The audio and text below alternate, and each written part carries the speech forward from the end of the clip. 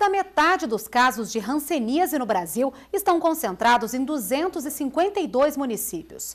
A meta do Ministério da Saúde é reforçar o atendimento e reduzir ainda mais os casos da doença no país, que entre 2010 e 2011 já teve queda de 15%.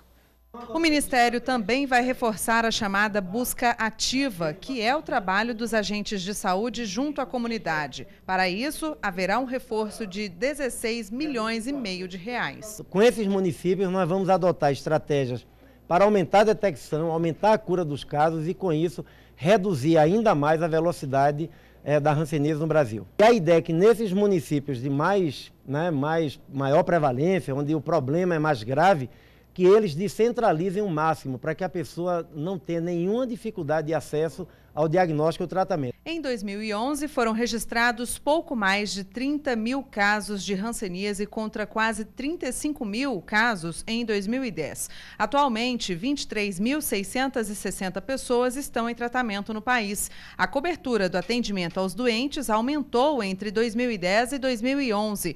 290 unidades de saúde a mais habilitadas para assistência aos portadores da doença. As regiões Norte, Nordeste e Centro Centro-Oeste ainda concentram o maior número de vítimas, pois enfrentam barreiras como a distância, dificuldade de acesso e diagnóstico e até o preconceito.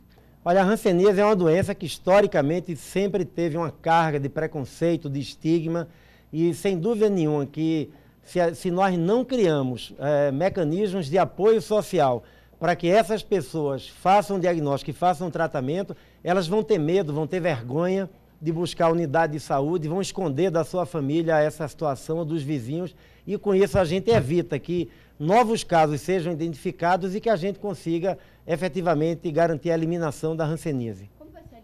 Uma das estratégias do governo é incluir as ações de controle da doença no Plano Brasil Sem Miséria, que tem a meta de retirar da extrema pobreza 16 milhões de pessoas. A hanseníase é uma doença infecciosa que ataca pele e nervos, mas pode afetar outros órgãos, como o fígado e os olhos. A principal característica são manchas esbranquiçadas, avermelhadas ou amarronzadas que não coçam e não causam dor. Após diagnosticada, o tratamento, que é de graça pelo Sistema Único de Saúde, pode durar de seis meses a um ano. No próximo domingo será comemorado o Dia Mundial de Luta contra a Hanseníase.